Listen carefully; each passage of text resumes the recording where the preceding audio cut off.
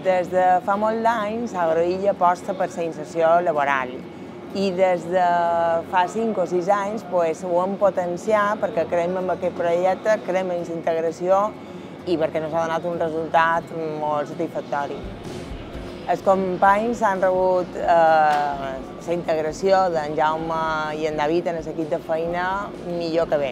Ho he de dir, jo estic supercontenta d'aquesta part. Però també t'he de dir que els han rebut també perquè ells ja també estan molt conscienciats de que és un valor afegit i que tenir persones que integrar-les en l'equip de feina no, no suposa cap esforç, sinó que és algo positiu.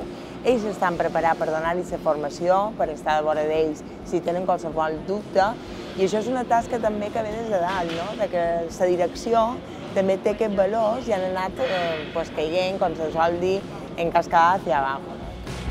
Crec que el paper que juga el preparador laboral per la incorporació de les persones és bàsic. En aquest cas, tant a Mercè com en Lluís pues, se van posar en contacte amb nosaltres per definir-nos el pla d'actuació que tindrien en, en dues de les persones que vàrem incorporar, en aquest cas en David i en Jaume, i a un primer moment pues, és veure que sí que estan ombro con ombro de vora d'ells per entendre les tasques i poder pues, explicar-los perfectament les tasques que han de dur a terme.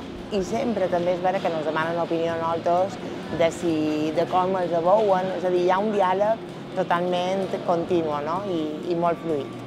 Uh, per integrar uh, el personal sí que va sortir un tutor, independentment de l'orientador laboral, un tutor d'aquí que forma part de la plantilla, que sí que és vera que va estar en el costat d'ells i els va anar formant. No? Primer va formar en en Jaume i d'una forma natural en Jaume va ser qui va fer de suport natural d'en David. No? I se va crear ja una, una cadena que a més bueno, pues, jo crec que és una cadena especial i que dona exemple també en els altres companys. No? I bueno, crec que mm, val la pena recalcar-ho.